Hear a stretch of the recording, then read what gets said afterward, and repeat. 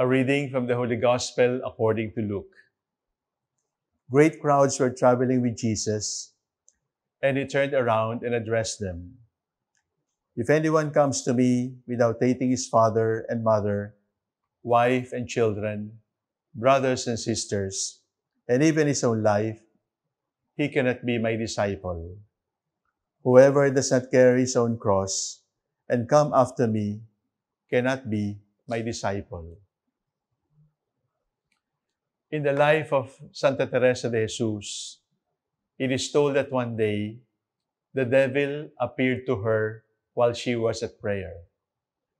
And uh, because the devil was disguised as Jesus Christ, Santa Teresa started a conversation with her surprise visitor.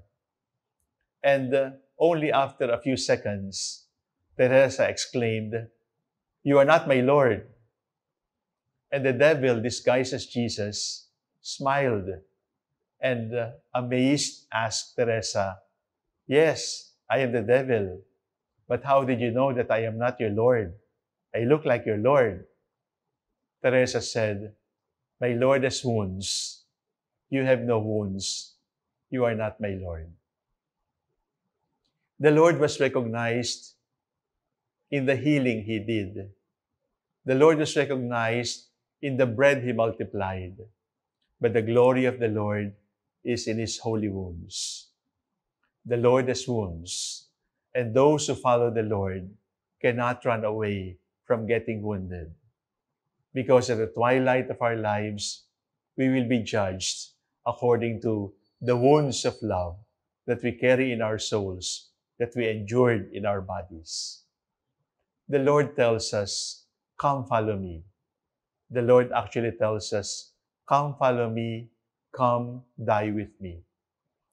What does it mean when the Lord says to us, Carry your cross daily? What does it mean when the Lord says to us, You cannot be my disciple unless you carry your crosses? First and foremost, we must accept it. Pain is part of life.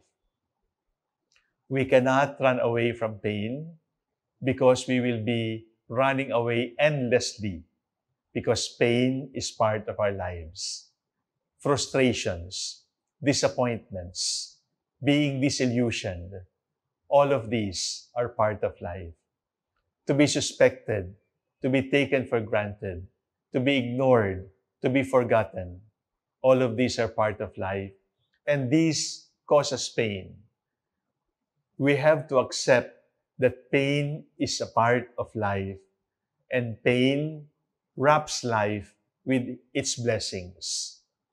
Because the best lessons we learn in life are those that we learn while in pain. Easy living, comfortable living, convenience, these are very poor teachers. The best teacher is pain. The best teacher is darkness. The best teacher is difficulty. We learn best under most difficult times.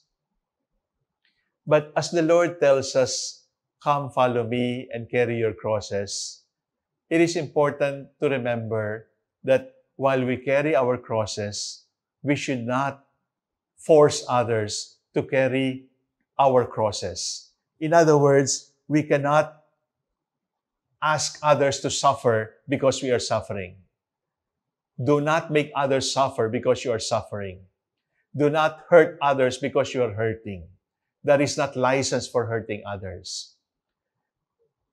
God allows us to endure pains. But if you are sick, if you are enduring bodily maladies, if you are frustrated and disappointed, that does not give you any license, any permission to hurt others. To carry your cross daily is to carry it courageously, but do not become a suffering for other people. The third thing that we must remember is there are two types of death. The first is terminal death. The second is paschal death. Terminal death will happen only once because it ends all possibilities. But when the Lord asks us to come and die with me, when the Lord asks us, you must die, it is not about suicide. It is about dying every day, dying day by day, because life is really many deaths that we have to endure, many dyings that we have to endure.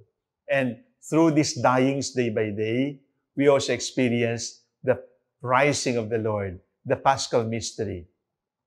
Because the Paschal mystery is the core of our Christian lives. The fourth lesson that is entrusted to us is the pains that come into our lives, the crosses that we need to carry, invites us to patience. Patience, which means waiting. The Lord gives you His cross. Wait for the resurrection because the resurrection is sure. The Lord gives you pain. Wait for Easter Sunday because Good Friday can only lead you to the glory of Easter.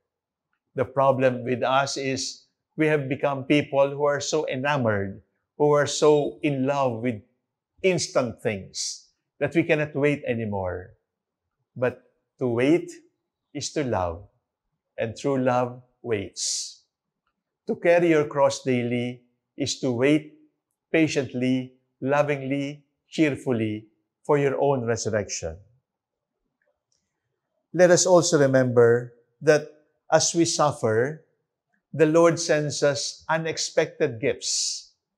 We pray for something, and yet the cross is given. We pray for another grace, but another grace is given beyond our expectations. We ask for what we need, but God gives us what He knows we need. Because sometimes what we think we need are not really needs. And the Lord knows best what we need. And if this cross comes from the Lord, it can only be the best for us. And uh, as we carry our crosses daily, let us always remember nothing is impossible with God. Nothing. Absolutely nothing. Even death can be transformed into new life. Our pains can be transformed into hope. And the bread can be changed into His body the wine can be changed into His blood. Nothing is impossible for God. Brothers and sisters, at the sunset of our lives, the Lord is going to ask us, How much did you love? And the proof of love is in getting wounded, because there is no greater love than to die for your beloved. God bless you.